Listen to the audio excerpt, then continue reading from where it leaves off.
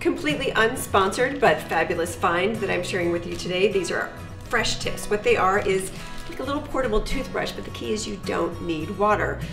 They're great for travel, of course, but they're also really good for client meetings. So let's say you're having a business lunch and you order salad, and then you're like, oh gosh, was there a lot of garlic in that dressing? Or do I have a little bit of lettuce stuck in between my teeth? Well, fresh tips to the rescue. Uh, we had these at our travel events, and they are so cool.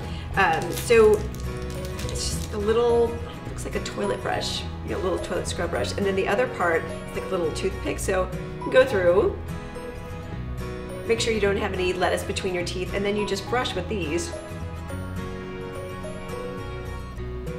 And it's freshening your breath, don't require mouthwash, doesn't require any toothpaste slightly minty, completely refreshing, and just such a great idea that these are portable, disposable, and for kids there is a bubblegum flavor. This one is the peppermint flavor. It's kind of like chewing a piece of gum, um, but it's actually gonna get your teeth a little bit cleaner and get those hard to reach spots as well. So this is called Fresh Tips. You can find them on Amazon. We'll put a link down there below. Again, unsponsored, just a cool find that we thought you moms should know about. For more tips and trends, be sure to subscribe to our channel.